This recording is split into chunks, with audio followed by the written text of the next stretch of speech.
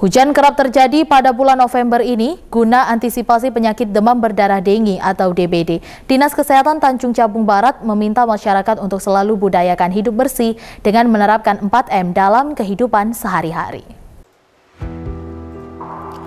Sebagai upaya menekan angka kasus DBD di Kabupaten Tanjung Jabung Barat, antisipasi dan penanganan penyakit demam berdarah dengue atau DBD terus dilakukan oleh pihak Dinas Kesehatan Tanjung Jabung Barat. Kepala Dinas Kesehatan Tanjung Jabung Barat, Zaharudin mengatakan, antisipasi penanganan DBD tetap menjadi fokus pihak Dinas Kesehatan. Terlebih pada musim hujan saat ini yang menjadi sasaran berkembang biaknya jentik nyamuk Aedes aegypti, penyebab penyakit demam berdarah dengi atau DBD bagi manusia. Ia menghimbau kepada masyarakat Tanjung Jabung Barat untuk tetap terapkan 4M, yakni mengubur, menguras, menutup, dan memantau.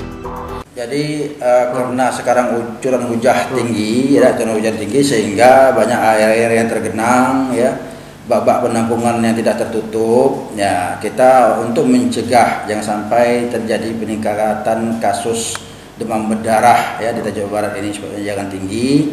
Kita anjurkan kepada masyarakat untuk melakukan PSN atau sarang nyamuk. Yang pertama yaitu mengubur ya bekas-bekas barang-barang bekas yang menampung air ya. Yang kedua itu uh, membersih ya membersihkan bak-bak uh, penampungan air ya bak-bak yang di rumah drum supaya dikasih abate atau ditutup gitu ya.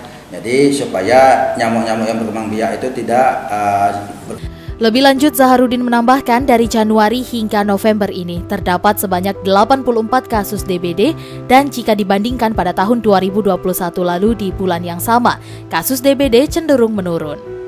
Selain itu, rata-rata kasus DBD terjadi di Kecamatan Tungkal Ilir, Kota Kuala Tungkal. Surya Kurniawan, Cek TV, melaporkan.